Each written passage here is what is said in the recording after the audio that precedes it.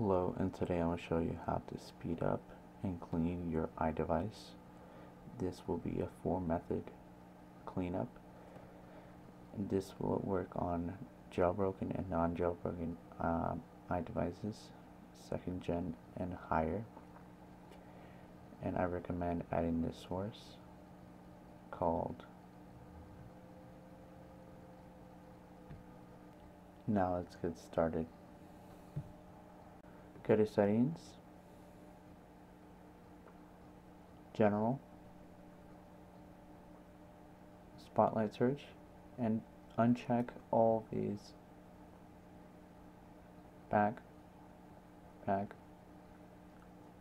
Now you're going to double click the home button and erase these to improve battery life and speed. Now you're going to want to go to Cydia and type in mobile terminal search. You're going to go and look for the one that says Big Boss and install. Already done so. Now you, you're going to search clean up crap and install. After finishing installing it should prompt you to respring. Please do so. After finishing respringing you want to go and search for your mobile terminal and open it. Now you're going to type in login return root return. Password will be alpine. Don't worry if you can't see it while you type it that's normal. Then you're going to type in CUC clean up crap and it should just clean it all up. Now this might take a while this is sped up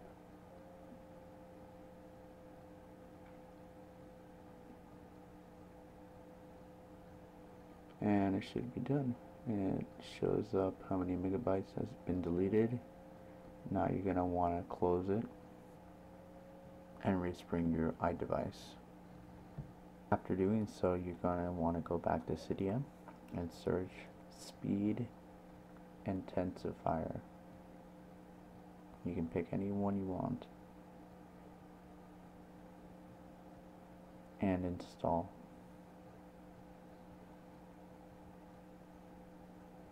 After doing so, you're going to want to head to settings.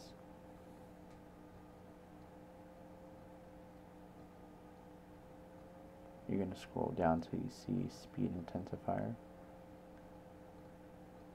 current selection and you want to go to the fastest which is 10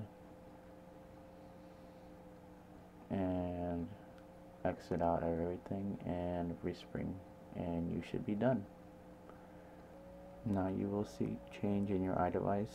The animation will be faster and your applications will open faster. You're going to want to close these down. And thanks for watching this video on how to speed up your iDevice.